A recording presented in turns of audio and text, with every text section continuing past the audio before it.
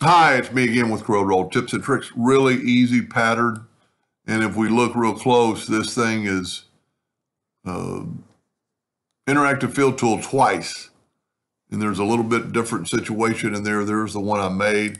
Really easy to make and kind of fun and learn some tools. So we're going to start off with a square. We're going to zoom in here. And we're going to take the shape tool and hold down the control button. And when we do that, only the node that we get is going to be there. Now we're going to bring in indexing lines. Let's make this thing a little bit smaller. And we're going to put that node right there. Now, if we look, the hairline is right on the line. But if we take that line now and make it like 12 points, let's make it a little bit thicker.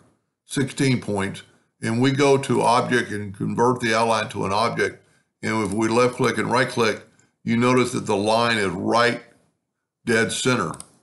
So control D to make a duplicate, alternate C to rotate it, and rotate it 90 degrees. Control D, control D. Now let's get rid of our indexing lines.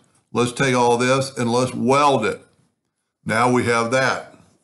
Control D and make a duplicate and rotate it 45 degrees, which is half that, and weld it again. You could probably weld it all at the same time. Now, what's kind of the most important thing to do is to go ahead and take the, let's see how big this thing is. It's, wow, 23 inches. Let's make it a little bit smaller. So it's 11, so let's make our nudge factor 12. And we are going to, well, we don't even have to do that right now. We can do this right here. Let's uh, take a two-point line, start moving and hold down the control button and hit P. That put it right in the middle. Let's take our Smart Fill tool and we're going to set it on that burnt orange and we're going to fill both sides in. Now we're going to get the interactive fill tool. The one on the left is selected. So we're going to go from there to there and we're going to bring yellow into that spot. Now what's nice, I only did half of it. Now I'm going to select this one and get the interactive fill tool. And we're going to go the opposite way. And this time we're going to put yellow here. Now, with that said, we're going to have a little bit of a line down the middle. Well, no, we're not. Let's, let's take away the outline. Well, because we use the Smart Fill tool, that's why I'm going to nudge it out of the way we are nudging the lines out of the way. And if we look really, really close, maybe when we, maybe not now, but let's do this. Let's select it all, control G to group it. Let's go ahead and hit P, put it in the center of the, well, that's in the center of the page. Let's just delete that. Hit P, put that in the center of the page. And then you can hold down the shift key and double click on the rectangle tool and put a rectangle around it. Make the rectangle black go up to object order backup page, and that's what you get.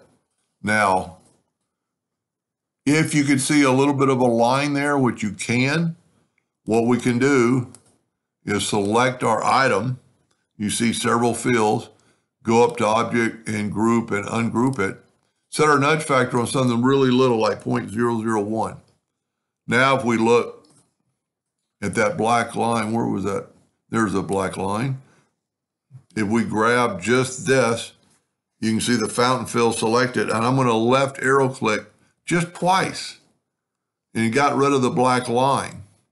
Now let's get rid of the black box for just a second. Let's go ahead and grab this and group it together, and then put the black box back. It really would look better if I would have made a longer or thicker line but that looks pretty cool. That's a pretty neat pattern. And you could actually, we could have cut it into quarters and interactive fill each corner. Anyway, a little fun project. Hope that helped. Thank you for watching.